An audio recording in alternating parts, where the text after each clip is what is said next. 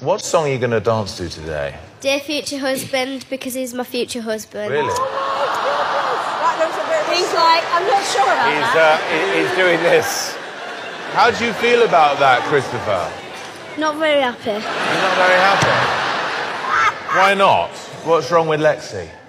She's just annoying.